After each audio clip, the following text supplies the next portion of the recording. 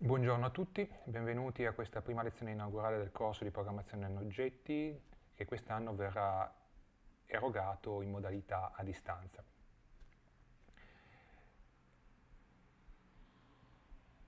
Allora, il mio nome è Marco Torchiano, eh, sono del Dipartimento di Automatica Informatica, eh, qui trovate i miei riferimenti per potermi contattare in questo corso sarò eh, coadiuvato da eh, due colleghi che sono Diego Monti e Simone Leonardi che si occuperanno principalmente della parte eh, pratica eh, e di eh, laboratorio. A questo punto io sarei partito con gli orari delle lezioni, l'organizzazione, in realtà siamo in questa eh, emergenza per cui cercherò di proporvi una modalità alternativa di interazione eh, che cercheremo di sperimentare assieme eh, cercando di eventualmente aggiustarla in funzione delle esigenze e delle funzionalità.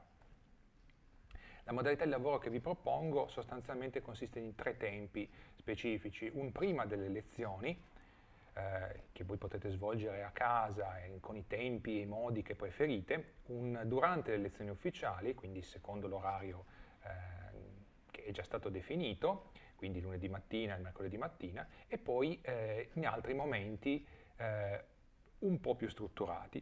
Eh, in questi tre tempi che cosa vi propongo di fare? Sostanzialmente io prima delle lezioni pubblicherò ehm, i video con eh, le lezioni, eh, verrà inviata a voi una notifica in modo che voi possiate eh, essere informati immediatamente e quindi guardarvi le lezioni. Durante l'orario ufficiale eh, avremo eh, l'utilizzo della mm, Virtual Classroom in cui potremo avere un'interazione. Eh, l'idea è quella di fare un veloce riepilogo io eh, delle tematiche delle lezioni che eh, dovreste aver visto precedentemente e poi eh, lasciare spazio a eh, domande e chiarimenti, eventualmente discussione, mm, vi posso proporre dei temi, eh, delle, degli argomenti di discussione eh, da portare avanti tutti assieme. Ehm, ovviamente questo è, è, limitato e quindi ci sarà poi un altro ehm, modo di lavorare ehm, a richiesta, per cui è ovvio che se eh, lavorando in maniera autonoma avete delle domande, dei dubbi, ci sarà la possibilità di eh, fare delle richieste specifiche, eventualmente eh, risolvere i vostri problemi, eventualmente fare discussioni.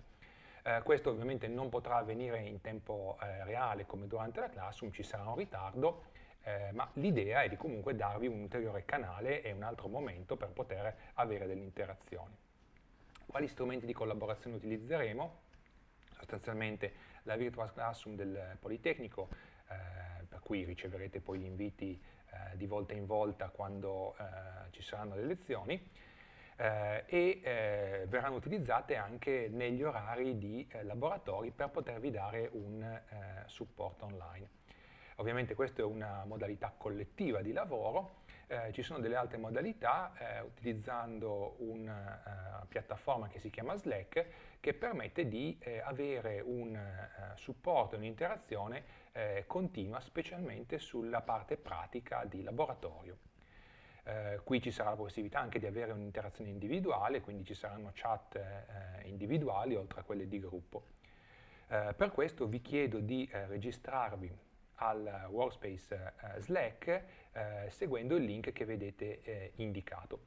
Registratevi utilizzando l'email del Politecnico perché sono quelle abilitate, quelle ufficiali che noi utilizzeremo durante questo corso. Eh, tutto il materiale, quindi queste eh, slide che stiamo vedendo adesso, eh, link, informazioni, eh, riferimenti, video lezioni, eccetera, saranno disponibili su questa pagina. Eh, trovate il link anche sul portale della didattica, eh, tra gli avvisi, eh, quindi non dovete per forza memorizzarlo ora, e qui trovate tutto. Oltre a questa pagina, che vi posso mostrare velocemente, Quindi questa è ehm, la pagina che voi avete, eccola qua, che voi avete a disposizione.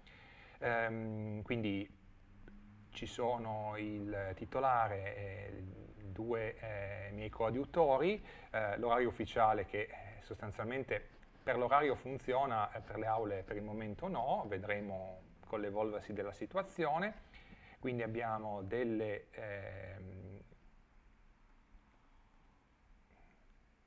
le news, quindi tutti eh, i link che vi servono, le lezioni, quindi qua ci sono i pdf, ci saranno anche eh, le video lezioni, eh, la prima comparirà appena finisco di eh, registrare questa che, stiamo, eh, che state ascoltando, eh, informazioni e eh, link per i laboratori, eh, eventuali esercizi eh, che vengono svolti eh, in, in, aula e poi alcune informazioni sugli esami e infine link utili, software e bibliografia per chi volesse poi approfondire. Um, oltre a um, questa pagina web, vi dicevo, c'è eh, un'altra pagina che è questa, quindi eh, op.polito.it slash doc, in cui ci sono le informazioni eh, generali. Ehm, mentre questa pagina è comune a tutti e tre eh, i corsi, anzi quattro perché ce n'è anche uno in inglese, di programmazione ad oggetti, ehm, la pagina precedente che abbiamo visto invece è specifica di questo corso di cui sono io il titolare.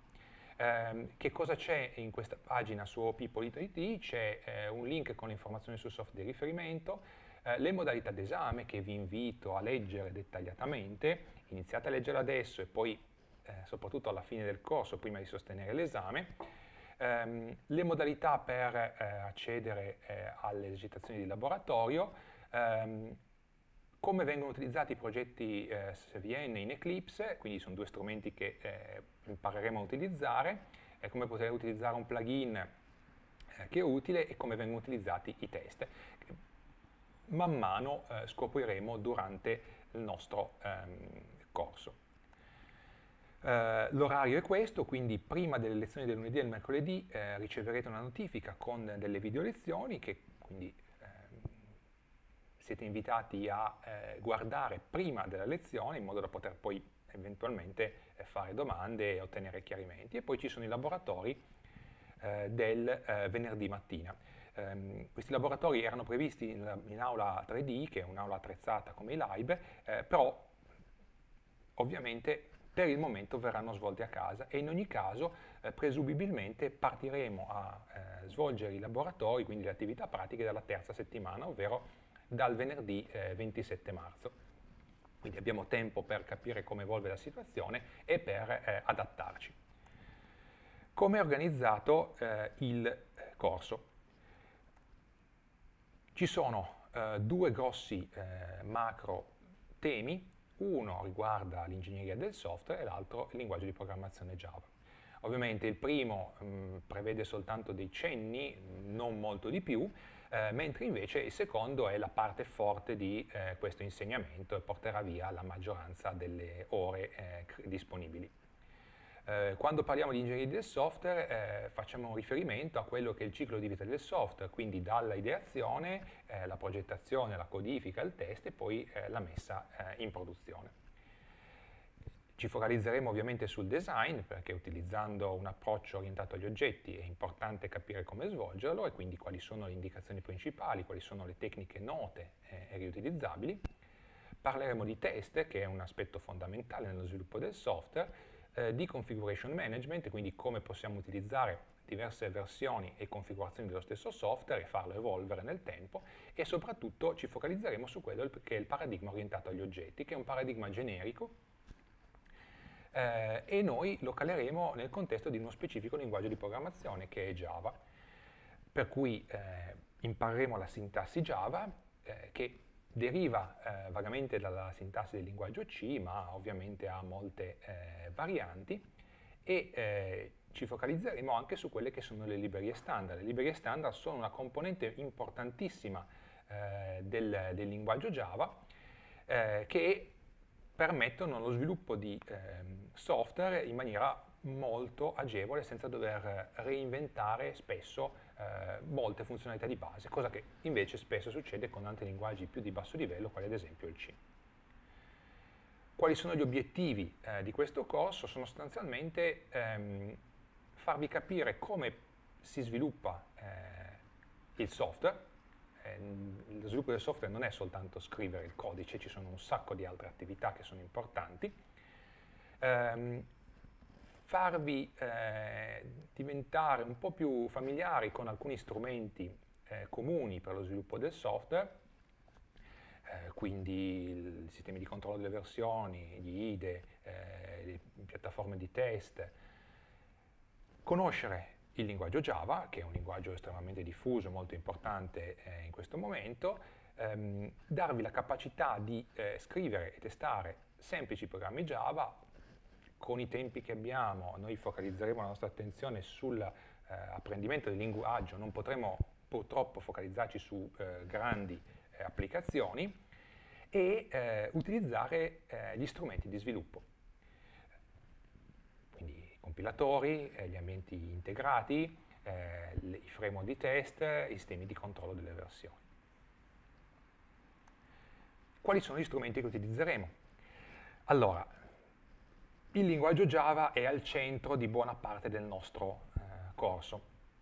Eh, utilizzeremo il linguaggio Java all'interno di un ambiente integrato di sviluppo che si chiama Eclipse, che è estremamente diffuso, è uno tra i più diffusi eh, attualmente eh, anche nel contesto industriale. Um, utilizzeremo una piattaforma per il controllo delle versioni che si chiama Subversion, che eh, non è quella più eh, di moda in questo momento, ma è eh, tuttora eh, largamente utilizzata eh, in contesto industriale. Eh, utilizzeremo un framework per il test che si chiama JUnit e eh, vedremo alcuni cenni di quello che si chiama lo Unified Modeling Language, che è un linguaggio che serve per andare a modellare e quindi anche a progettare applicazioni, in particolare applicazioni che utilizzano un approccio orientato agli oggetti che è quello che poi viene eh, realizzato tramite Java, quindi l'UML è un, uno strumento di progettazione, eh, progettazione che precede poi la scrittura del codice utilizzando il linguaggio Java. Come è organizzato in termini di eh, attività il nostro corso? Abbiamo circa 50 ore eh, di lezione, ehm, con le video lezioni e la parte ehm, con l'aula virtuale probabilmente queste proporzioni cambieranno un pochettino, ma giusto per darvi un'idea di quello che è la progettazione iniziale, c'è una piccola parte, quindi una quindicina di ore di relative al software engineering e ehm, la parte maggiore è legata al linguaggio Java. Abbiamo poi degli esercizi in aula, eh, quindi circa eh, una ventina di ore, eh, vari esempi svolti durante le spiegazioni, o durante le video lezioni oppure durante la parte interattiva nelle classi virtuali e le soluzioni ovviamente degli esercizi di laboratorio con la spiegazione, la eh, valutazione delle alternative e la discussione ovviamente dei vostri dubbi e delle vostre eh, ipotesi di lavoro.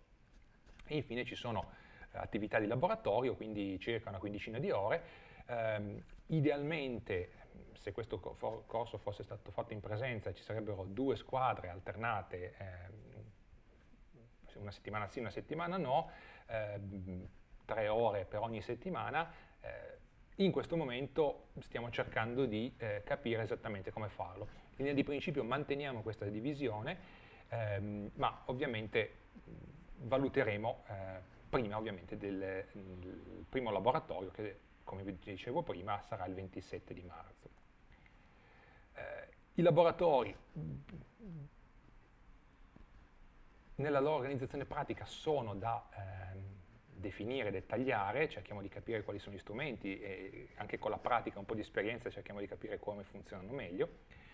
Eh, che cosa dovrete fare nelle attività pratiche? Sostanzialmente vi verranno dati eh, degli esercizi, ehm, tipicamente dei programmi lo scheletro di un programma che voi dovrete eh, completare ed eventualmente modificare. Ed è sostanzialmente lo stesso eh, meccanismo che poi vedrete in atto durante l'esame. Durante l'esame vi verrà dato un programma di partenza vuoto, normalmente, eh, che voi dovrete eh, completare.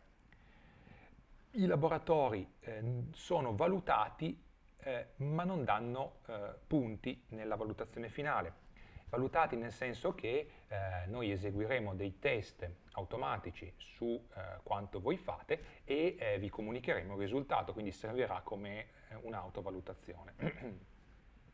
Sono essenziali per l'esame finale, ehm, è importantissimo eh, svolgerli perché sostanzialmente sono un percorso che vi prepara a raggiungere quello che sarà poi la struttura dell'esame finale, quindi eh, i laboratori primi saranno molto semplici, ma direi che gli ultimi eh, sono sostanzialmente analoghi a quello che eh, vedrete poi in sede d'esame.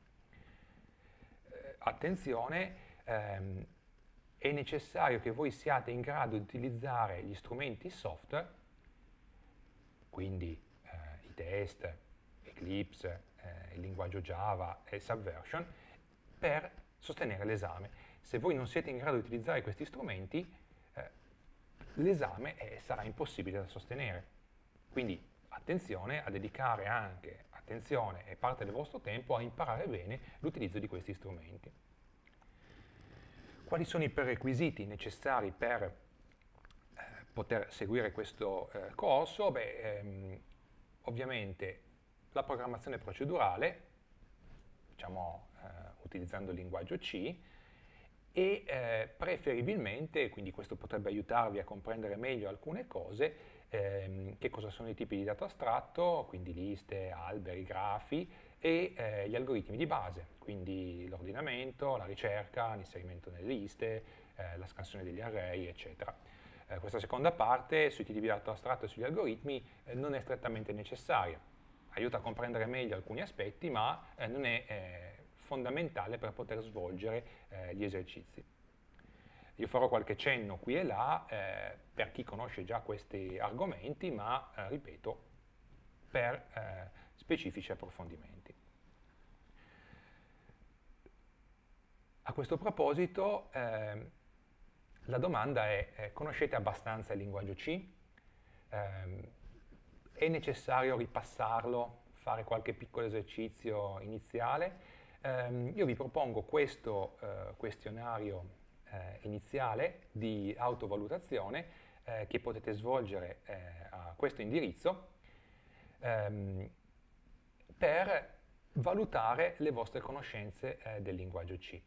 Um, il questionario di autovalutazione eh, non è anonimo, eh, servirà ovviamente a noi per motivi statistici, per capire un attimo le, qua, come le conoscenze del linguaggio C sono poi eh, legate alle, alle, vostre capacità e, eh, di scrivere eh, linguaggio Java, per cui quando vi collegherete vi verrà richiesta un uh, identificatore e per questo utilizzate la vostra matricola senza la S iniziale, quindi semplicemente la parte numerica. Più in generale, eh, durante il corso vi proporrò eh, una serie di ehm, questionari di autovalutazione, ve li proporrò prima delle attività pratiche di laboratorio in cui eh, i concetti eh, sono utilizzati e dopo eh, aver visto gli argomenti eh, sia nelle video lezioni che poi durante le eh, classi ehm, interattive. Questi questionari di autovalutazione sono sostanzialmente un insieme di domande a risposta chiusa, eh, servono per autovalutarvi, quindi quando avete problemi, non sapete esattamente come rispondere, eh, ecco questo è un segnale che probabilmente dovete approfondire alcuni aspetti che poi saranno utili nella parte eh, pratica di programmazione. Eh, sono basati su web, come dicevo prima non sono anonimi, servono a noi per motivi statistici per capire se ci sono alcune attività, alcuni aspetti del corso che eh, sono più critici di altri, su cui magari eh, insistere di più e cercare di eh, approfondire e, e chiarire meglio eh, i risultati non sono utilizzati per eh, la valutazione, quindi per il voto finale. Eh, servono, ripeto, a voi come autovalutazione e a noi per capire se ci sono aspetti più critici dove tante persone magari hanno eh, difficoltà. Qual è il software che utilizzeremo? Ehm, ci sono alcuni eh, prodotti che sono fondamentali, che sono ehm, disponibili nei laboratori eh, e ehm,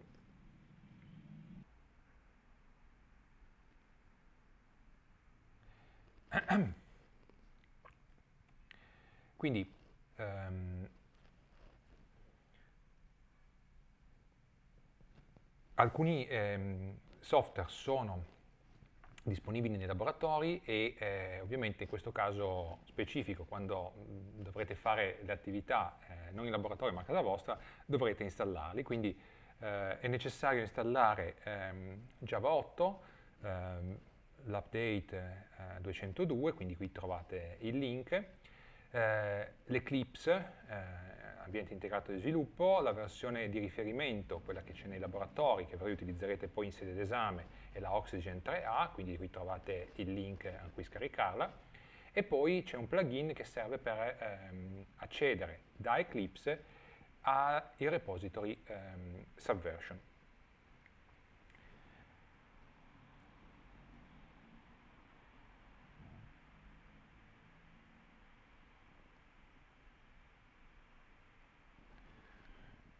Ci sono anche altri tool ehm, che possono essere utili, in particolare vi segnalo Asta UML che è uno strumento per andare a disegnare diagrammi UML, ehm, possono essere utili. Eh, non utilizzeremo i diagrammi UML almeno in sede d'esame, eh, ma li utilizzeremo come strumento di, di, di, modellazione.